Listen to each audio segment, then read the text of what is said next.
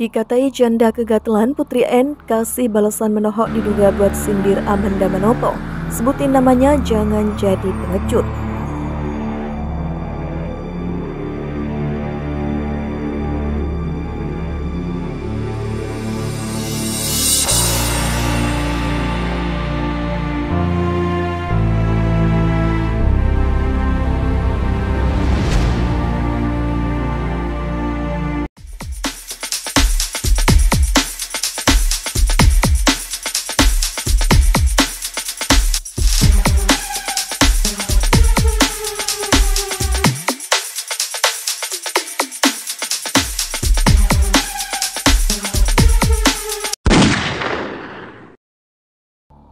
Putri N belum lama ini kembali disorot karena ucapannya ia dianggap memberi isyarat bahwa rumah tangganya dengan Arya Saloka sudah berakhir.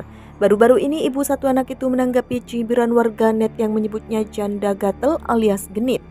Ya ampun, jandes kegatelan bunyi komentar tersebut yang dibacakan oleh Putri N dalam siaran live yang dibagikan ulang oleh akun YouTube @mela_asya.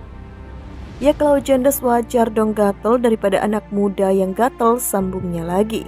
Selain mengonfirmasi dirinya kini adalah seorang janda, jawaban santai itu disebut-sebut sebagai sindiran Putri N terhadap Amanda Manopo, perempuan yang santer dituding sebagai selingkuhan Arya Saloka.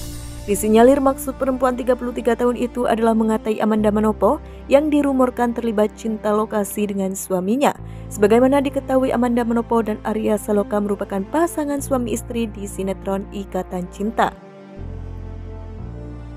Namun rupanya perkataan Putri N itu menuai reaksi negatif dari warganet. Mereka mengaku tengah melihat mantan aktris itu yang hanya bisa menyindir tanpa menjelaskan kepastian masalah rumah tangganya. Woi move on dong jangan nyindir terus sebutin namanya Jangan jadi pengecut Malu sama umur komentar akun netizen Kok gak malu sih dibilang janda gatel? Ya ampun malu-maluin keluarga aja Ujar akun netizen lain. Ini orang maunya apa sih? Seneng bikin gempar dunia maya Klarifikasi gak mau drama mulu kata netizen lain. Apa yang ada di pikirannya ya? Kok gitu amat imbuh akun netizen